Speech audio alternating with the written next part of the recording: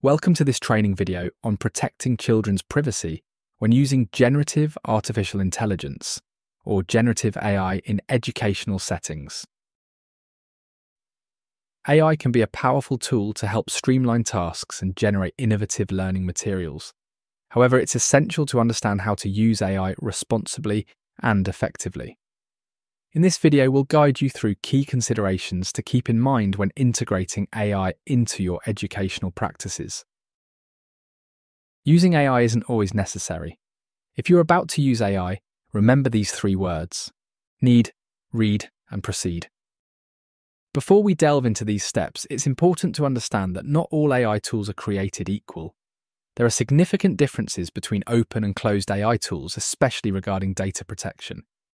Throughout this video, we'll be using the term Open AI tools. It's important not to confuse this with OpenAI, a company that researches artificial intelligence and develops both open and closed AI tools. Open generative AI tools are usually accessible by anyone. They may store, share, or learn from the information entered into them, including personal or sensitive information.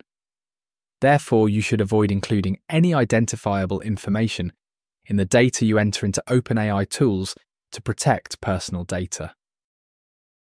On the other hand, closed generative AI tools are generally more secure as external parties cannot access the data you input. This makes them a safer option for handling personal data. It's not always obvious whether a generative AI tool is open or closed. Check with your school's data protection officer or IT lead to find whether your school has a preferred AI tool available for you to use safely. But what exactly do we mean by personal data? Personal data refers to any information that can identify an individual, either directly or indirectly. In a school setting, this could include details like a student's name, contact information, behaviour records, assessment results, or even staff recruitment information, and more.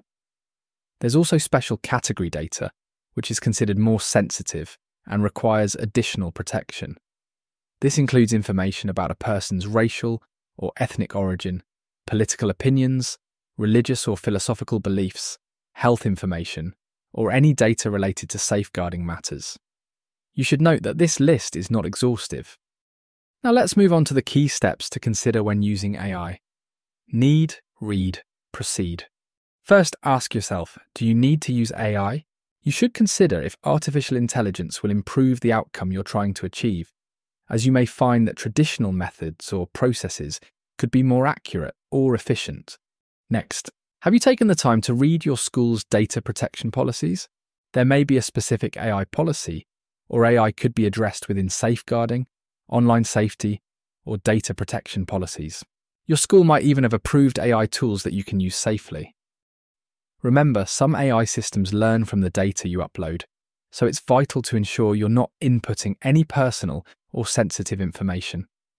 Finally, review results and proceed with care. Always verify outputs from AI tools before relying on them.